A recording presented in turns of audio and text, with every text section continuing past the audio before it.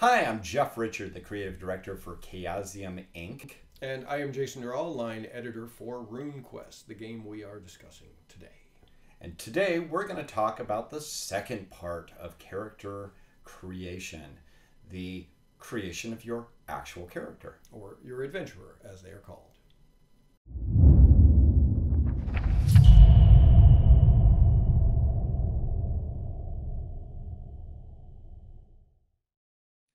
So, the first thing that you do when you're uh, creating your adventurer The second thing, after, Well, after, after your family family, background, yes. background determination. is then you select the runes that you want to be uh, most strongly affiliated with. Right, and these are the runes that we've discussed earlier in the series of videos. Right. So you pick uh, three of the elemental runes one that starts strong, one that starts fairly medium, and one that starts really quite weak. Yeah, and the other two you have no rating in at that time.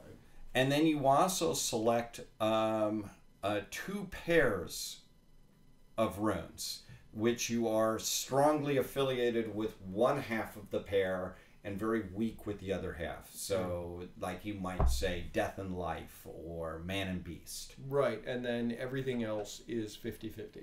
Right. Uh, and uh, you're allowed to then put some additional points in to, to tinker around with it. But those runes that you've selected end up having an impact on your characteristics. Right, you already start to get a sense of like what are my character's strengths and what are their um, like their defining qualities that might move forward in play. How do I solve problems or what's the first instinct I have when I'm you know confronted with stress. Ex- exactly. And then and only then do you go into characteristics. And and RuneQuest has the the uh, more or less the same group of characteristics that Call of Cthulhu has. The main difference is is that appearance uh, is replaced with charisma.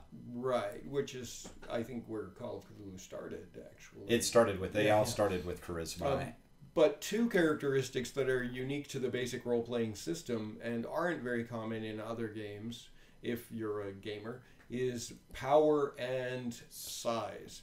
And these are both rated along the others on a scale of between 3 and 18. Um, some of them are start between 8 and 18. But um, these are basically um, rated like how what your qualities are, how strong you are, how fast and dexterous you are, how smart you are. And it, is- so, for instance, power is how magically attuned you are. Yes, it's it's very specifically related to your sort of your strength of will, which is manifest in your connectedness to the magical nature of the world and the universe around you. So a high power character is a very lucky character. There's somebody who has something compelling about them that other people will notice. Now, one of the things that's uh, worth pointing out is that charisma in RuneQuest has a broader use than it does in many other rune systems. Is True. now part of that comes from the the the, the origin of the word charisma. It's basically uh, literally it means more or less divinely anointed. So it's how much you're favored by the gods. So a high charisma character might not actually be physically beautiful, but very capable of of commanding attention. Right. And um, for example, hit points, which are um, another important characteristic of your your character, are determined by the um, By your constitution right by your constitution and modified by your size, just and your like power. just like other um, abilities, all sort of modify um, your characteristics. Will like when you add them together and sort of determine how high or low they are. They'll actually influence your basic skills, which we should talk about next. Yeah, absolutely. So your characteristics uh, affect the uh, also have a big impact on your skill starting percentage. Right. So the various categories of skills, and these categories start with a, a base, and then you add onto it the the the bonus that you get from uh, uh, your characteristics. How, And- do, how do I learn skills? Well, then you choose what was your occupation. Yeah. What were you trained to do as as a person? Maybe you were trained as a warrior or as a scribe, or you you were a bandit. or a shaman or a philosopher. Yeah, there's a wide. These are not character classes. These are just simply Uh, the the your background occupation. So it's Yeah. it's you, and for every occupation, every occupation is associated with it uh, uh, some bonuses to your starting point on uh, a suite of skills. Right. So if I started as a heavy uh, a heavy cavalry uh, uh, warrior, then I'm gonna get uh, start with a good riding skill. I'm gonna start with a lance skill or some other uh, similar weapon that's good to use from from mount. Or if I start as a scribe, I'm gonna start being illiterate. I'm gonna start with some some knowledge skills. Right. And uh, these are, unlike in Call of Cthulhu, where you're given uh, hundreds of points to allocate yourself. In in this, you're given basically a suite of of bonuses. Yeah, as you create your character and you move forward through the character creation process, it's mostly just additive. You end up adding little discrete bits of skills that you learn through, you know, that come from your background. Your parent may have trained you in a particular skill, or then when you begin um, picking your occupation, then this is this is what I was trained to do. It doesn't define me and limit what I can do going forward. It just says this is where I picked up most of my my my skill set at this time. Exactly.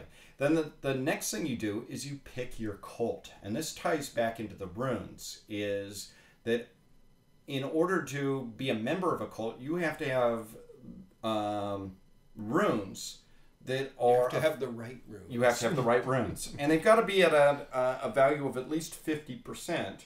Although honestly, you're going to want it to have it higher than fifty percent because uh, that also determines your chance of casting the magic. Right. And you can get your runes pretty darn Sure, high at the beginning of it. And with your cult comes some new magic. You learn both the regular magic of the cult and the rune magic of that cult. You get some starting skills. you get some and- additional skills. That's right. And then at the end of all this, you sort of wrap all this up, and you've got a little discretionary pool to further customize your character. So you can add that into a skill that hasn't been influenced prior to that, or to improve a skill that you would like to be better at um, when you're playing. and and this uh, some ca- there seems to be a tremendous amount of different strategies that people have with their personal experience. Some char- some players like to to to allow them to be very very specialized in a handful of skills. Uh, other people like to use their personal experience to buy new skills uh, and be decent at a, a very wide suite of skills. And there's really no optimal strategy on this. No, no, no. It's just the classic um, difference of how to approach, you know, problem solving.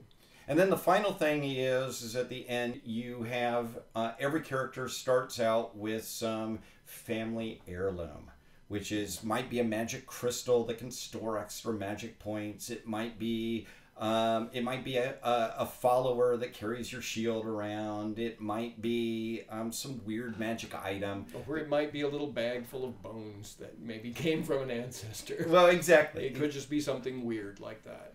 Um, but but by the time you've gone through the character creation uh, bit, you have a character that is a uh, a competent um, uh, character that's going to be uh, quite good at their core skills of whatever you defined in this character creation is what your your character is really good for. And your character given the past history of, of, of war and conflict in the setting you know your character is pretty experienced going forward. Now unlike in some game systems where that suddenly it starts making you know your character able to shrug off uh, uh, death or or or lots of problems it, it just means that your character is uh, about at the uh, percentile level that you expect somebody that is good at a particular type of activity should be Right. And at that point, it's time for new adventures, at which we will discuss.